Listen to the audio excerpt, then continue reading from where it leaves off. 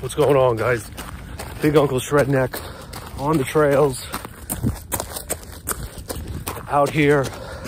Just gonna do a quick brief pre-video as I run.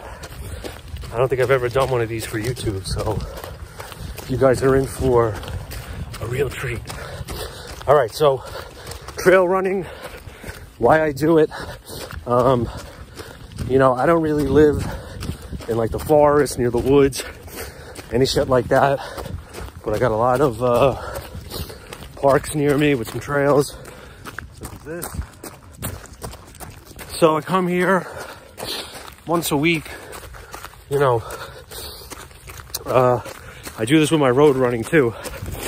But I'll come here once a week, wear my trail shoe, pretty minimal padded shoe, and just do, you know, 140, 150 tops, heart rate range run, uh, three miles, easy.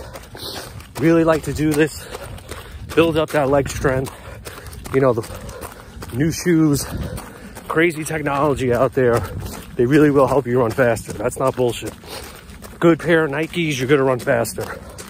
But not always good to train in those types of shoes. So getting a minimal shoe, such as these, uh, really gonna improve leg strength. Now I've seen some good improvements doing this the last few years. Um, you know, I also wear my trail shoes on the road.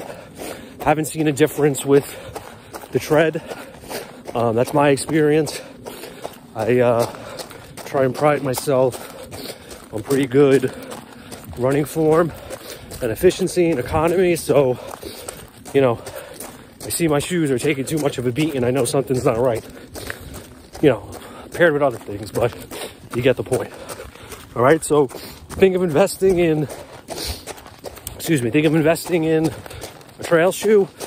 Think of investing in minimal style runner and you're going to see some great, great leg strength gains, way more so than you're to see with strength training.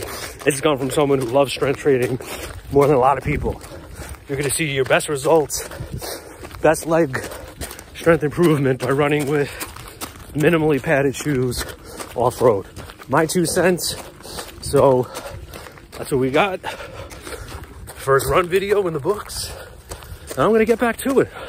Holy shit, fucking deer. Yo, oh shit, there's a deer. I gotta be careful. I gotta put the phone down. All right, peace.